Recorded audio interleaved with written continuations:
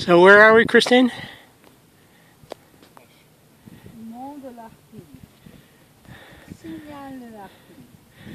And how long have we been hiking? Uh, hour One hour and 50? Yes. Oh, well, so maybe they said two hours and 15. Maybe